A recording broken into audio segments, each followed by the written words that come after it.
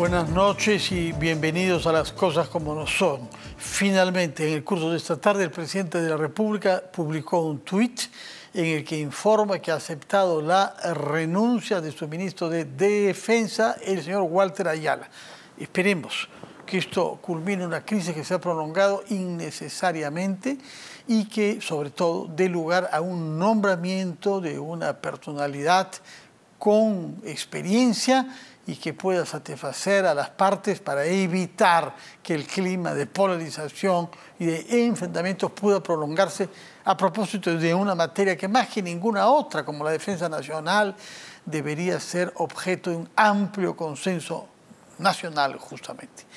Para discutir sobre ese tema y otros que se han planteado al Parlamento, incluido el tema de las irregularidades en el examen organizado por el Minedu, hemos invitado a dos congresistas de dos bancadas diferentes, quizás en los dos polos opuestos de nuestro espectro político. Por una parte, la señora Kelly Portalatino, que es miembro de la bancada de Perú Libre, 34 miembros, y por otra parte, el señor Diego Bazán, que es miembro de la bancada de, de Avanza País, que ahora tiene, si no me equivoco, 11 miembros.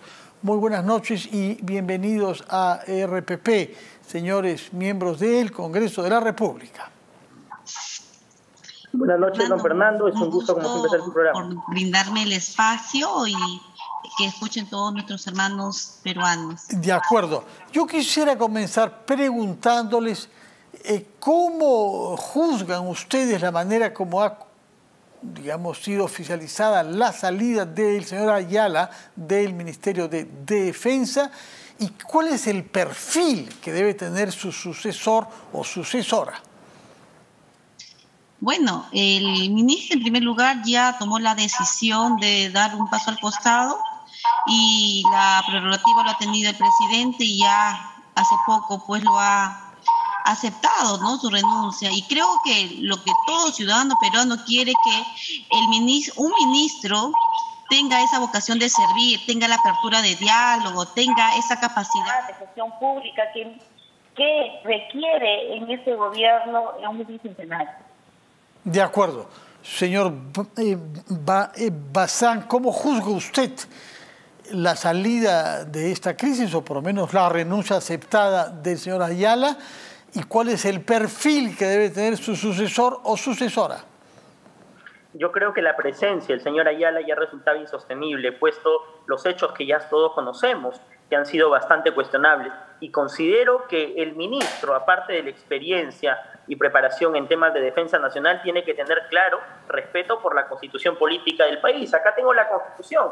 En el artículo 172 de la constitución política se dice que los nombramientos de los altos cargos de las Fuerzas Armadas precisamente son propuestos por las mismas Fuerzas Armadas, no es una designación política. Y si un ministro no tiene respeto por la constitución política, no hay otra cosa que, que dé un paso al costado, por supuesto. Por otra parte, señora Portalatino, hemos visto esta tarde un tuit de Vladimir Cerrón, que es el fundador y secretario general de su partido, en el que dice que producida la salida de, a, se pregunta cuándo saldrá el, señor Pacheco, que como sabemos es el secretario general de la Presidencia de la República. ¿Cómo interpreta este tuit usted? Bueno, eh, también dentro de mis Twitter, eh, comentarios que he hecho, es casi parecido ¿no? al secretario general nacional. ¿Por qué? Porque hemos visto eh, a través de los medios de comunicación que se han deslizado algunos WhatsApp que brinda pues alguna información y sobre todo que el secretario general no está cumpliendo sus funciones, sus facultades que le competen. No puede generar intromisiones ante este gabinete, sabiendo que hay una ministra, en este caso la premier, que tiene sus facultades de poder coordinar. Por lo tanto, el señor está tomando atribuciones que no le competen. Por este motivo y por otros eh, puntos hemos creído conveniente dentro de la bancada de Perú Libre que tiene que dar un paso al costado por la salud y gobernabilidad del país. Señor Bazán, ¿qué piensa usted de este tuit de eh, Vladimir Cerrón eh, pidiendo la renuncia también del secretario general de la Presidencia de la República? Me parece lamentable que hasta el día de hoy el señor siga eh, entrometiéndose en asuntos muy particulares del Ejecutivo. Considero que sus opiniones siguen desestabilizando al Ejecutivo. Hoy más que nunca necesitamos estabilidad como país. Desde el Congreso de la República le brindamos la confianza al Ejecutivo. Particularmente fue uno de los de mi eh, bancada que votó en verde y a favor de la confianza del nuevo gabinete. Sin embargo, considero que hasta el día de hoy no hay voluntad alguna de querer hacer las cosas bien en favor del país y de los más pobres que hoy más que nunca lo necesitan. Pero, señora Portalatino, cuando Vladimir Cerrón pide la salida de un puesto de confianza, ese sí político, este no es institucional como la Fuerza Armada, es la persona que trabaja y despacha junto al presidente todo el día. El señor Cerrón se ubica claramente en la oposición. En primer lugar, todo ciudadano peruano puede vertir opiniones y, y eso es normal.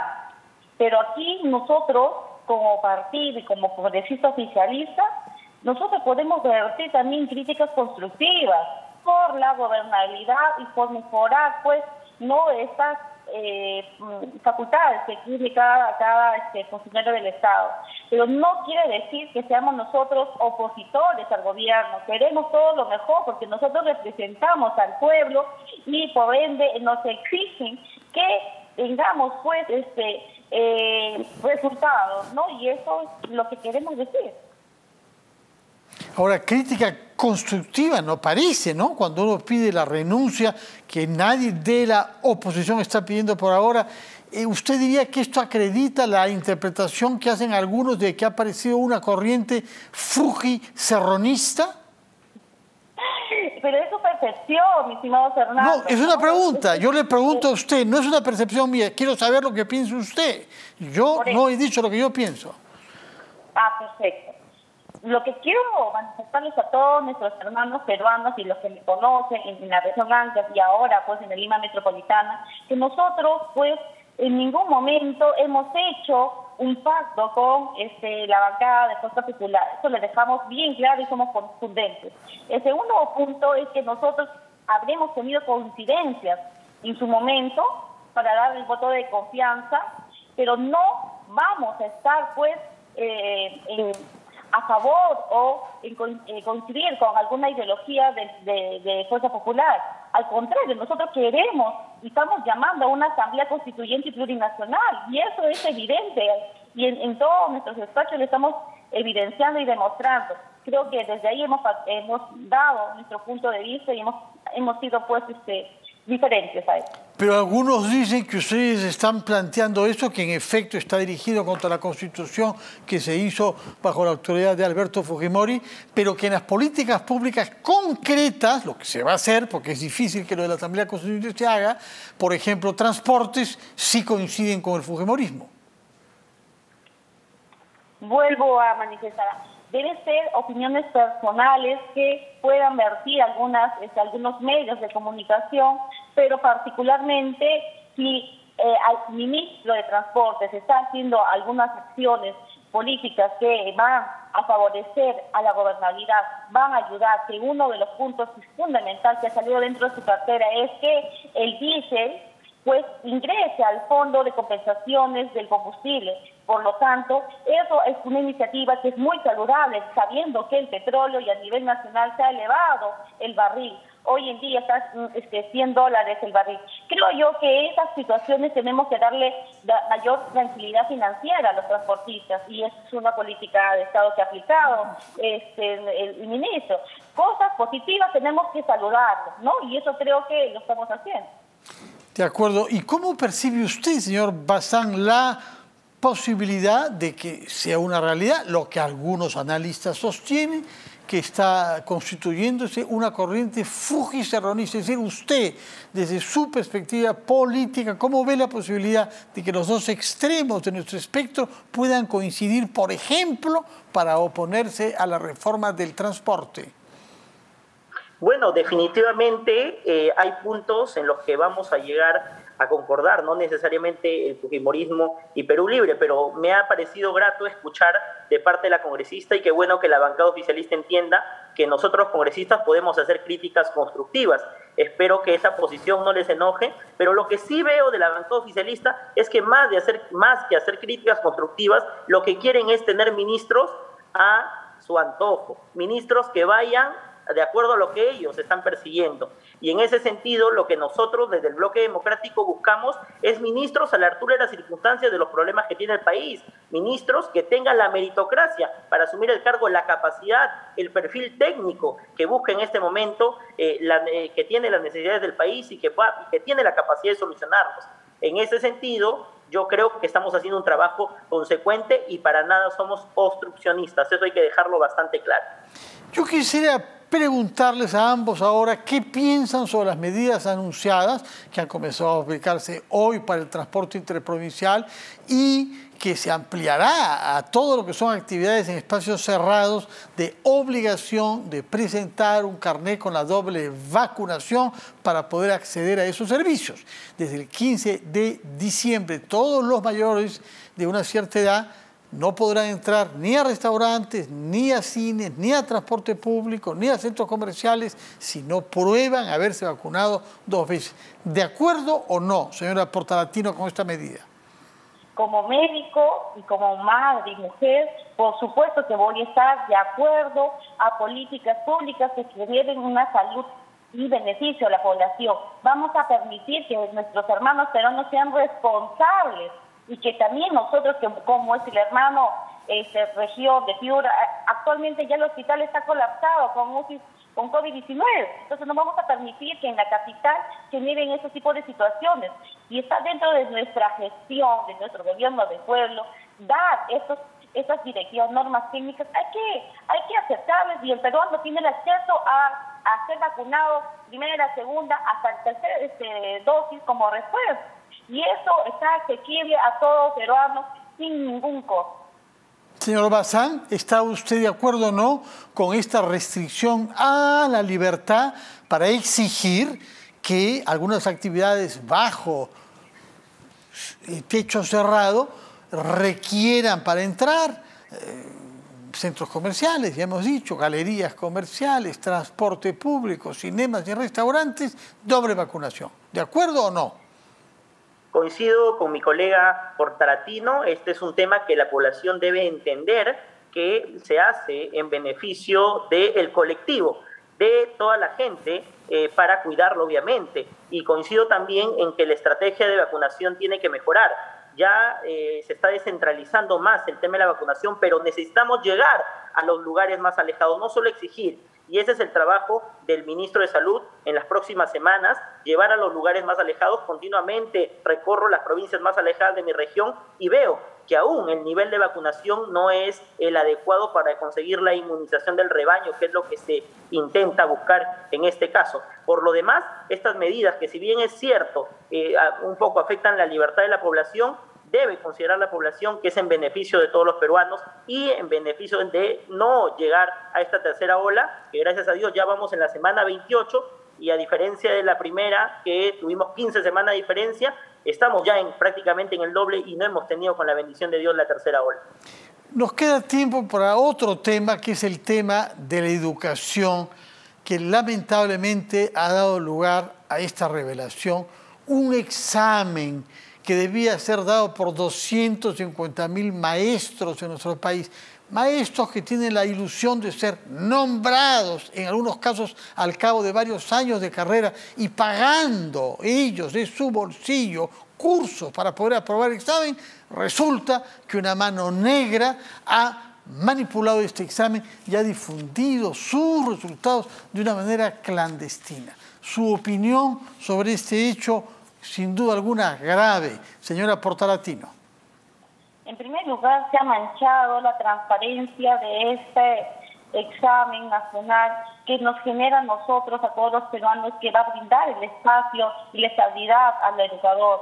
Pero sí solicitamos, y por qué no exigir que se investigue exhaustivamente y que llegue hasta el responsable, ese funcionario que ha podido infringir y por lo tanto, pues que ya se ha retirado de este Ministerio de Educación, porque no podemos permitir que esos actos irregulares se sigan cometiendo en un gobierno de pueblo. Por lo tanto, ahí tiene que tomar acciones inmediatas, pertinentes el ministro de Educación. Señor Bazán. Eh, bueno, este hecho lo considero gravísimo. En ese sentido, eh, tiene que existir un responsable político de toda esta situación. El Ministerio de Educación se ha manifestado indicando que la prueba la tenía a cargo el INEI. Sin embargo, hay que recordar que el mismo convenio afirma que la supervisión de todo el proceso estaba a cargo del Ministerio de Educación.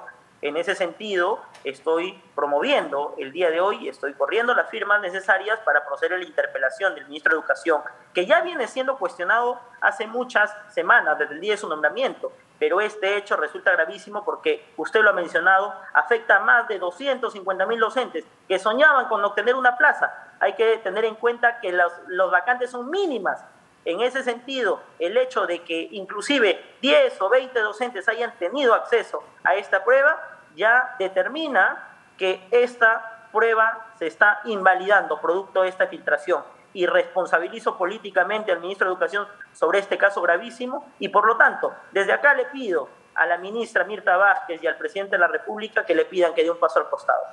En todo caso, nos está confirmando que ustedes van a presentar una moción para que el ministro sea interpelado, entre otras razones, por este tema. Por supuesto, este tema es gravísimo y tiene que existir una responsabilidad política al respecto. Se debe investigar desde dónde y cómo se filtró ese examen, pero lo que es claro es que el ministro de Educación tenía que garantizar que este examen se haga con transparencia y con la meritocracia del caso. Yo sé que esto va a retrasar un poco el nombramiento de los docentes, sin embargo, no vamos a, eh, no creo que deba hacerse como plantean algunas personas que por nombramiento directo acá tiene que primar la meritocracia en el país. En ese sentido, cuanto antes el Ministerio de Educación tiene que nombrar a un nuevo proceso de evaluación que se tiene que hacer con toda la transparencia del caso. Y pedir disculpas a los maestros que se han preparado para este examen y que se ven eh, eh, víctimas de un caso grave de corrupción. Señora Portalatino, ¿firmaría usted esta moción pidiendo que se interpele al ministro de Educación? Justo quería abordar ese, ese punto que es muy importante, que siempre eh, Acción Popular o otras bancadas siempre generan que alguna excusa para interpelar. Nuestros hermanos peruanos están cansados de generar inestabilidad de gobierno. Por favor, pensemos en ellos. En estos momentos quieren proyectos de gran envergadura. Que se llegue a investigar y que se sancione al responsable, porque no, el ministro tiene otras facultades también que los asigna o, o también él, pues, él va a tomar acciones y que se este, eh, eh, haga pues una recepción a todos los actos que se ha venido dando, pero también llevemos pues bien las cosas, todo, un debido proceso, ¿no? Eso queremos nosotros los peruanos y por lo tanto no vamos a tomar acciones pues como es la interpelación del ministro al ministro para que llegue y calce a medida de las demás bancadas. Pero eso quiere decir que usted es favorable a una investigación pero no a que se establezcan responsabilidades políticas de la autoridad de ese sector. Por supuesto que queremos nosotros responsabilidades políticas, pero ¿por qué a la cabeza? ¿Por qué no al responsable que ha convocado, que lidera lo que corresponde al concurso? Y también que caiga ese concurso y que se lleve a nuevas, nuevos concursos de forma correcta, transparente. Eso es lo que queremos jamás vamos a querer que se perjudique a nuestros docentes, nuestros educadores, que por que su propio bolsillo, bolsillo perdón, sale para poder seguir generando mejor capacidades, ¿no? Eso sí, nosotros respetamos, pero también hay que ser objetivos y veraces en una coyuntura donde estamos pasando. De acuerdo, hemos comprendido entonces, señora. Eh, ¿Su punto de vista es personal o piensa usted que los 34 miembros de su bancada pensarán como usted? Porque los hemos visto sobre estos temas, sobre todo siendo Gallardo un hombre vinculado al FENATE, más que a Perú Libre. Hay a veces miembros de, de, su bancada que no le expresan una gran simpatía. ¿eh? Hablamos por los 37 congresistas. Sí. Todos están de acuerdo en esto, en defender al ministro Gallardo. nosotros el día de mañana vamos a tener una reunión para tomar acciones pertinentes, sobre todo las acciones que están generando con las interpelaciones de los, de los ministros. Mañana vamos a debatir y vamos a consensuar en él. Mañana sabremos entonces qué piensa el conjunto de la bancada de Perú Libre sobre este tema. Muchas gracias por su presencia en RPP, señora Portalatino, señor Bazán, que tengan ustedes buenas noches y quedamos naturalmente curiosos de ver qué se decidirá mañana. En todo caso, ya no habrá interpelación al ministro Ayala, puesto que ha renunciado y su renuncia ha sido aceptada esta tarde por el presidente Pedro Castillo. Vamos a hacer una pausa y después hablaremos más sobre educación y sobre este tema del examen con su mácula grave con el secretario general de SUTEP, señor Lucio Castro.